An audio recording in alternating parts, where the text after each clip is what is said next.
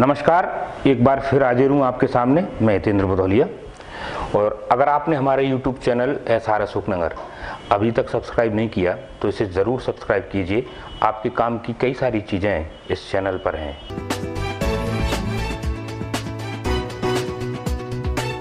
आज का मामला पूरी तरह से पॉलिटिकल है। और पॉलिटिकल नहीं है, पूरा ड्रामा है। और इस ड्रामे में आपको सब कुछ देखने को मिलेंगे, बयान मिलेंगे अटपटे बयान मिलेंगे, आँसू मिलेंगे, सहानुभूतियाँ मिलेंगी और और भी बहुत कुछ मिलेगा। तो दरअसल हम शुरुआत करें, उसके पहले आपको बता दें कि जनवरी महीने की आखिरी दिन और फरवरी महीने का पहला दिन अशोकनगर ज़िले में राजनीतिक रूप से बहुत उठक पटक वाला रहा उथल फुलत भरा भी रहा और पूरे प्रदेश में चर्चित भी रहा। क्योंकि मंगौली का विधानसभा का उपचुनाव है और चर्चा अगर होना लाजमी है तो जिन मुद्दों को लेकर चर्चा हो रही है, उन पर बात क्यों ना करें? हुआ है, वो देखेंगे। इस पूरी खबर में जिन चीज़ों को शामिल किया है, उनको एक सिलसिलेवार तरीके के साथ आपके साथ में लाते हैं। दरअसल कहानी की शुरुआत करते हैं भारतीय जनता पार्टी और कांग्रेस, दोनों के द्वारा जो प्रत्याशियों की घोषणा की गई, उससे उसके बाद की बगावत। बगावत के बाद रूठने मनाने का दौर इसके बाद एक दूसरे पर आरोप लगाने का दौर। आरोप के बाद कांग्रेस के कोई दर्जन भर बड़े बड़े नेताओं का रोड शो।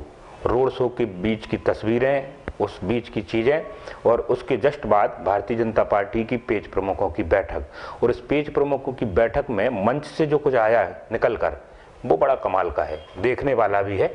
हालाँकि मीडिया को यहाँ उतनी देर के लिए अलाउ नहीं किया था।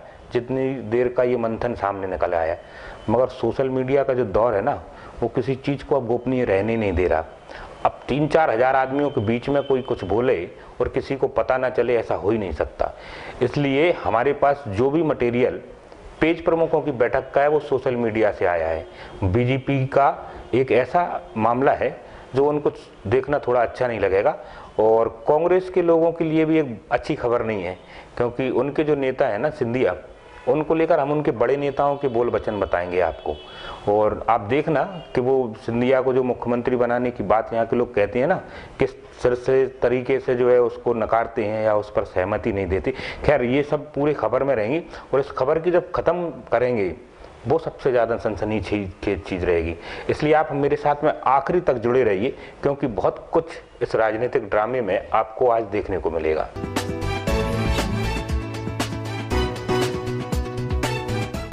शुरुआत करते हैं सबसे पहले कांग्रेस पार्टी के द्वारा भी प्रत्याशी की जो घोषणा की गई थी उससे।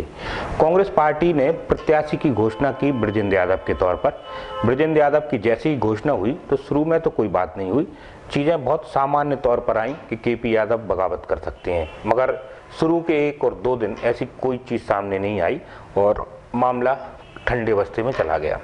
और जैसे ही बीजेपी की प्रत्याशी की घोषणा हुई तो मामला एकदम बबंडर की तरह सामने आया।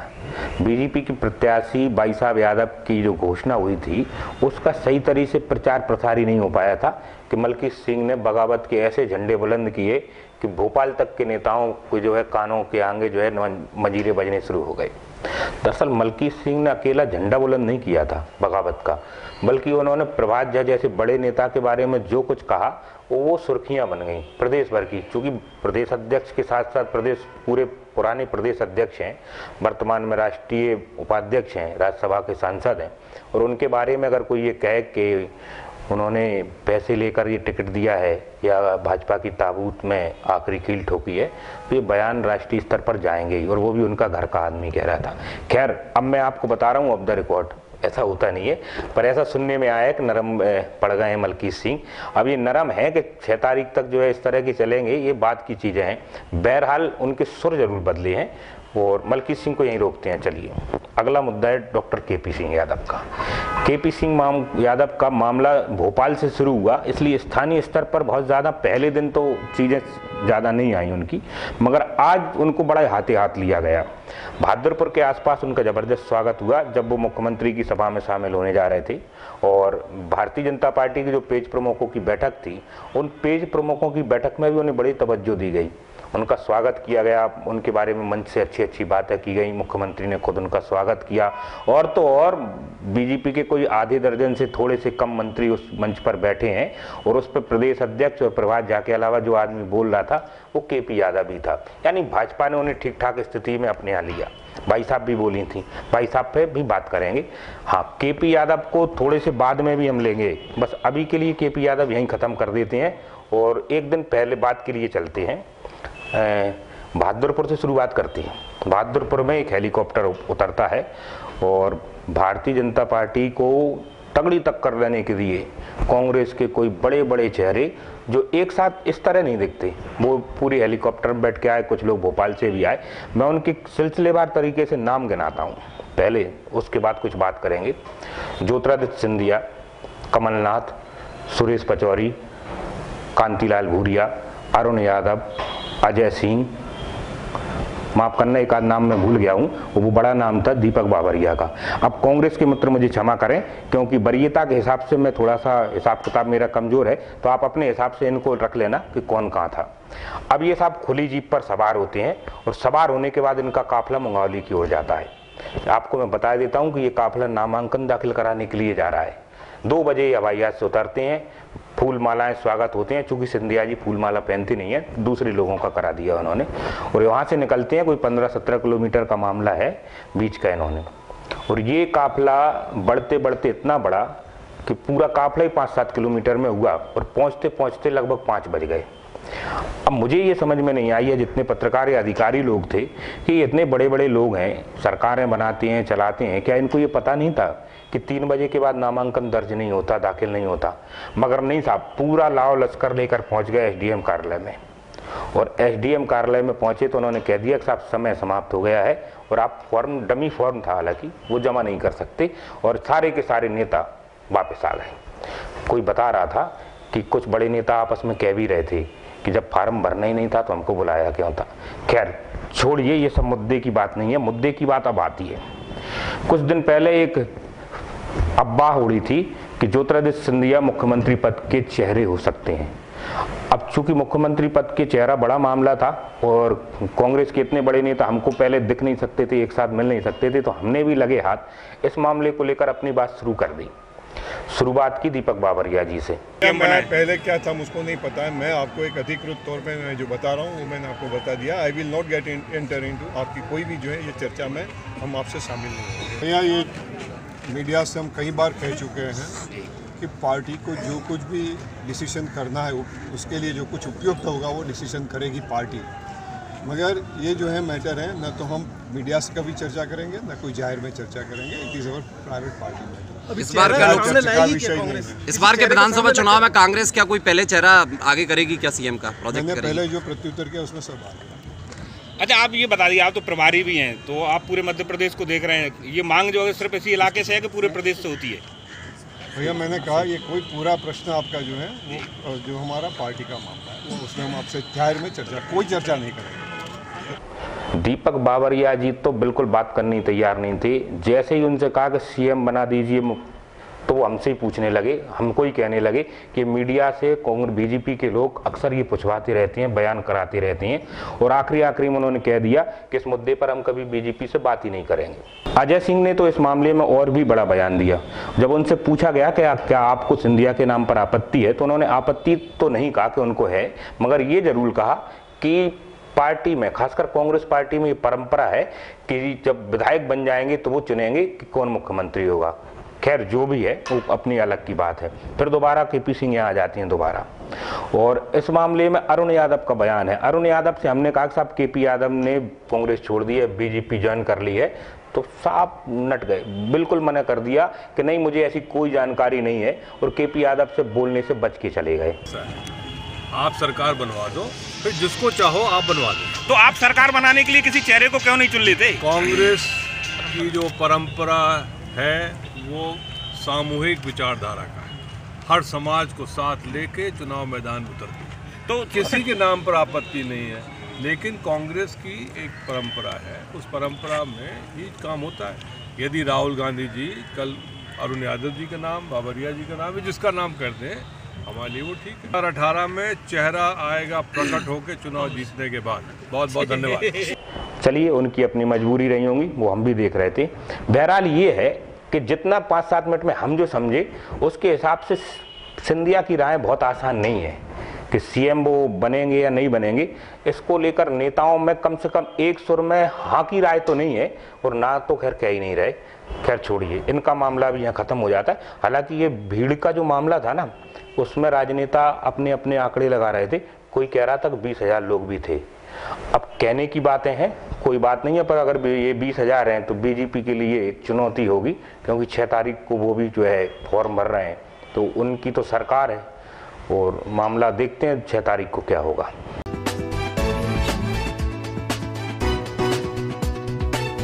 चलिए अब इस पूरी खबर में थोड़ी संवेदनशील होते हैं हम। और ये जो दृश्य आपको दिख रहा है ना, जिसमें पेज प्रवारी का ऊपर होर्डिंग लगा है, और ये बहुत सारी जो जनता दिख रही है मंच पे कुछ बड़े बड़े नेता दिख रहे हैं, ये भारतीय जनता पार्टी का एक नया कॉन्सेप्ट है। और हम इसकी बड़ी तारीफ़ करते हैं, क्योंकि अक्सर हम कहते रहते हैं कांग्रेस के मित्रों से कि अगर आपको चुनाव लड़ना सीखना है तो बीजेपी से सीखिए।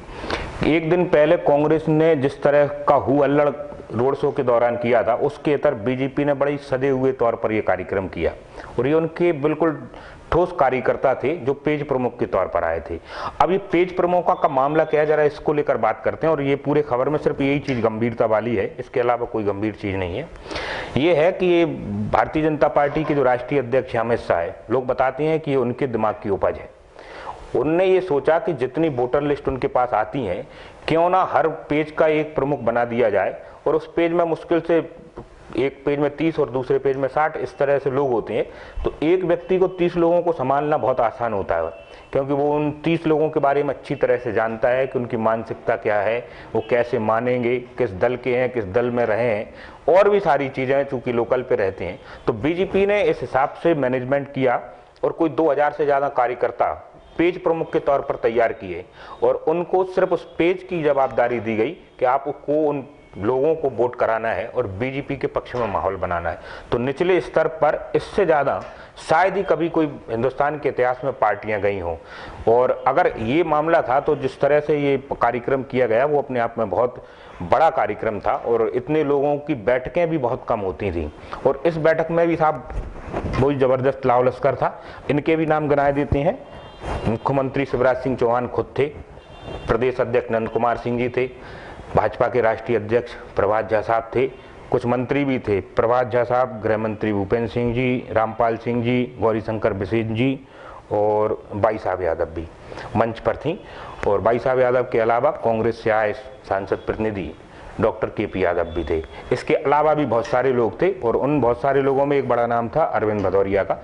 और उनने भी इस मंच को संबोधित किया और ये पेज प्रमो का जो का, जो पूरा काम था, बीते दो तीन महीने में उन्होंने जितना किया था, लोग कह रहे थे कि शुरू में बीजेपी बड़ी कमज़ोर थी और आज अगर लड़ाई में खड़ी हुई है तो उसमें ये अरविंद भदौरिया जो प्रभारी बनाया गया, उनका बड़ा योगदान है। उन्होंने पार्टी में न केवल कसावट लाई, बल्कि इस स्थिति में ला खड़ा कर दिया कि चुनाव को तो टसल का कर दिया। खैर लंबा अनुभव है, उपचुनाव के विशेषज्ञ हैं, इतना तो उनके हिसाब से बनता ही है। अब ये आगे कितना ले जा पाएँगे, ये देखने वाली बात है।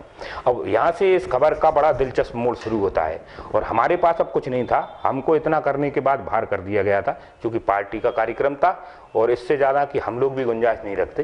पर पार्टी के लोगों की तरफ़ से कुछ वीडियो अंदर से आए हैं, और इन वीडियो ने हल्ला मच रखा, मचा रखा है।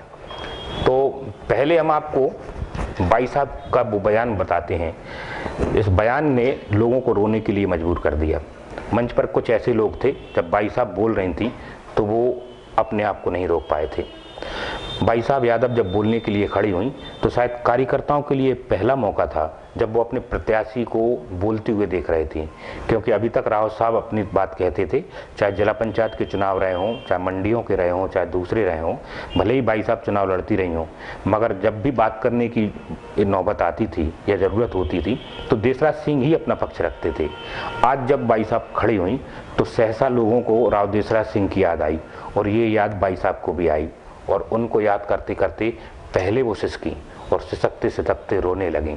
मुँह से जो टूटे फूटे शब्द निकले, वो बहुत ज़्यादा मायने नहीं थे, मगर उनकी इस भाव ने, उनके बिलक बिलक कर रोने की चीज़ों ने न केवल मंच को गमगीन कर दिया, बल्कि पूरे सदन में, पूरे पंडाल में सन्नाटा मचा दिया। मुझे ज़्यादा बोलना कुछ नहीं आता मुझे आपका आशीर्वाद चाहिए सहयोग चाहिए मेरे भाइयों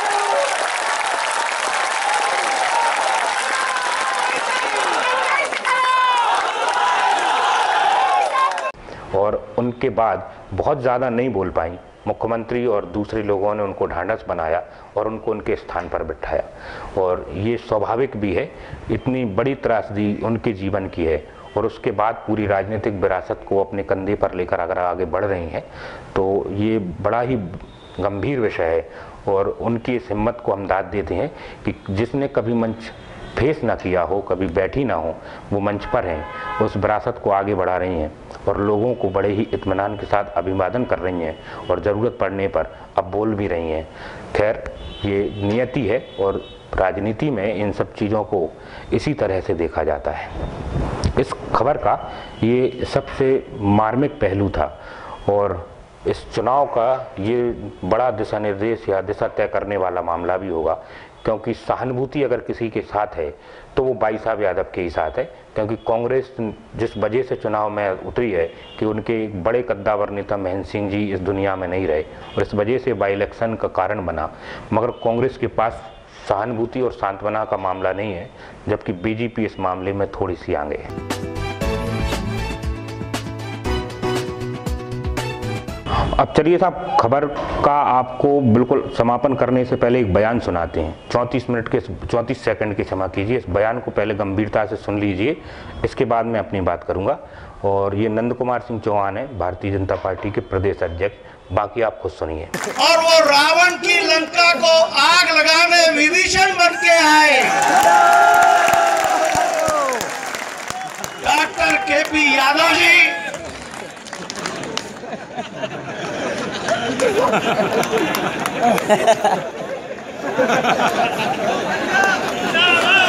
आपने सुन लिया? ये एक वीडियो वायरल हुआ है। हम इसकी सत्यता की कोई बात नहीं कर रहे, कोई गारंटी नहीं ले रहे और ना ही इसको प्रमाणिक होने की बात कर रहे हैं। मगर अगर ये सही है तो तो मुद्दा बहुत ख़राब है, बहुत संवेदनशील है और ये मामला यही नहीं रुकेगा।